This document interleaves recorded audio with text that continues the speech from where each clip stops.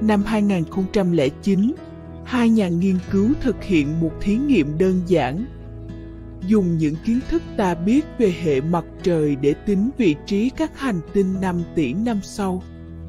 Để thực hiện, họ chạy hơn 2.000 mô phỏng có cùng dữ liệu đầu vào. Chỉ có một điểm khác biệt, khoảng cách giữa sao thủy và mặt trời, với sai số dưới 1mm giữa các mô phỏng. Bất ngờ là khoảng 1% mô phỏng, quỹ đạo sao thủy có sự thay đổi rất lớn, đến mức có thể đâm vào mặt trời hay va vào sao kim. Tệ hơn nữa, trong một mô phỏng, nó khiến toàn hệ mặt trời mất ổn định. Chẳng có lỗi nào ở đây cả. Sự đa dạng đáng kinh ngạc trong kết quả cho thấy hệ mặt trời có thể không ổn định như ta nghĩ. Các nhà vật lý thiên văn gọi đặc tính là này của hệ hấp dẫn là bài toán nơ vật thể.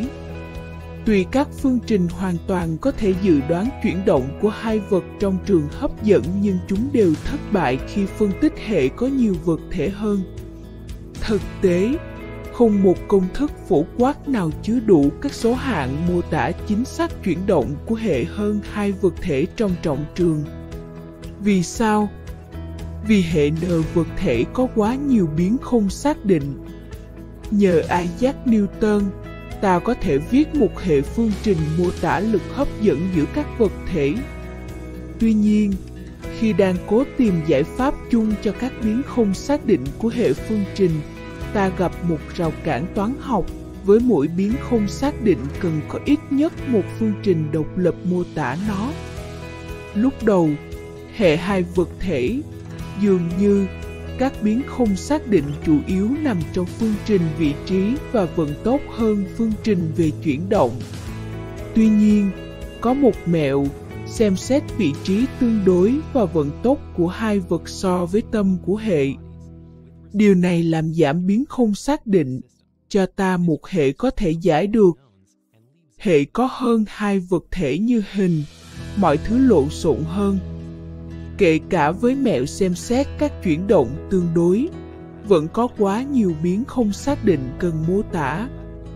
Đơn giản là do hệ có quá nhiều biến nên không có cách giải chung cho mọi trường hợp. Vậy thực tế, các vật thể trong vũ trụ chuyển động như thế nào nếu xem xét theo các phương trình chuyển động này. Các sao trong hệ ba sao Alpha Centauri có thể va vào nhau, nhiều khả năng hơn chúng có thể lệch ra khỏi quỹ đạo sau thời gian dài ổn định. Ngoài một vài hệ ổn định, gần như không tồn tại, gần như không thể dự đoán các hệ trong thời gian dài. Mỗi hệ sẽ cho ra một loạt các kết quả khác nhau, tùy vào những khác biệt cực nhỏ của vị trí và vận tốc.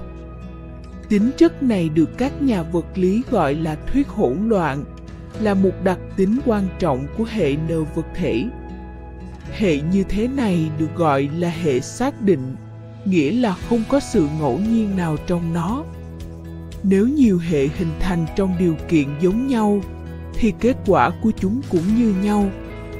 Nhưng khi hình thành, chỉ cần có một lực nhẹ tác động thì mọi thứ đều đổi khác. Điều đó hiển nhiên liên quan đến các sứ mệnh không gian của con người. Các quỹ đạo phức tạp cần được tính toán với độ chính xác cao. May thay, những tiến bộ không ngừng trong mô phỏng máy tính đưa ra nhiều cách ngăn ngừa thảm họa. Dùng các phép tính gần đúng cùng bộ vi xử lý tốc độ cao, có thể dự đoán chính xác hơn chuyển động của hệ n vật thể trong thời gian dài.